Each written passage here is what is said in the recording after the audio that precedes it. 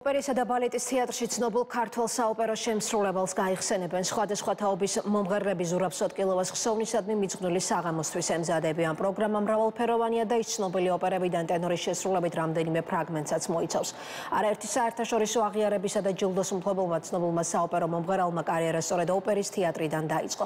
52 წლიანი სასცენო მოღვაწეობის მანძილზე მან არაერთი დაუწყარი პარტია და არია შექმნა. skal være ikke.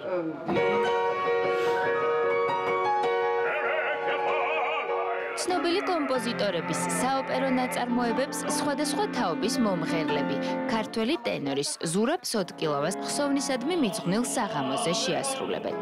საღამოს მონაწილეებს საოპერო ხელოვნების გამორჩეულ შემსრულებელთან საკუთარი დამოკიდებულება და მოგონებები აქვთ, რის გამოც ხსოვნის საღამოში მონაწილეობას ყველა მათგანი დიდი სიამოვნებით დათანხმდა.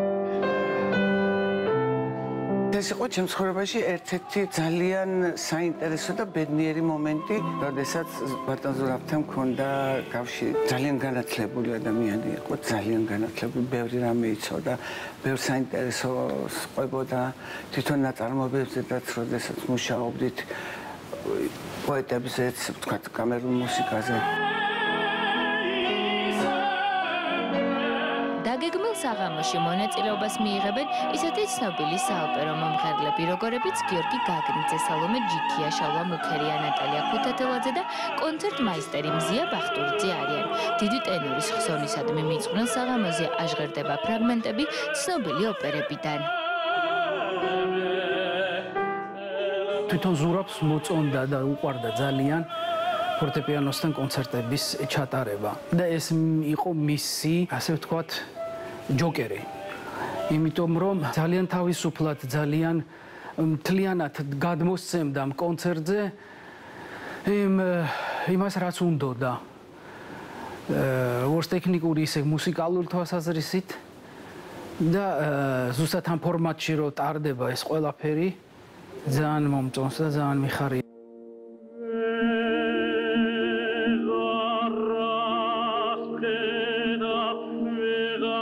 სოტკილოვას რეპერტუარში განსაკუთრებული ადგილი ქართულ კლასიკას და თანამედროვე ქართულ კომპოზიტორთა თხზულებებს ეკავა. თუმცა მას გააჩნდა ფართო და მრავალფეროვანი საკონცერტო რეპერტუარი. როგორც მუსიკის მცოდნეები აღნიშნავდნენ, მისი შესრულება გამოირჩეოდა გამომსახველობით, გემოვნებით, მგზნებარე ტემპერამენტით, ლირიკული სიფაქიზითა და დახვეწილი ოსტატობით. ოპერის თეატრში ქონდათ კონცერტი ბატონ ზურაბ სოტკილავას და კაპიტო მაყვალა ქასრაშვილს და მახსოვს ერთად შემოვიდნენ სხვათა შორის აი არტისტების შემოსასვლელთან საკონცერტო კოსტიუმით და კაბით და ეს ორი ვარსკვლავი ჩემთვის იყო აი მართლა ახლოდან რომ ვუყურებდი აი შევციცინებდი და ვოცნებობდი მაშინ პატარა საალომე ოცნებობდა რომ ერთვენია დღეს თვითონაც ამდგარიყო ოპერის სცენაზე და ეს იყო დიდი мотивация.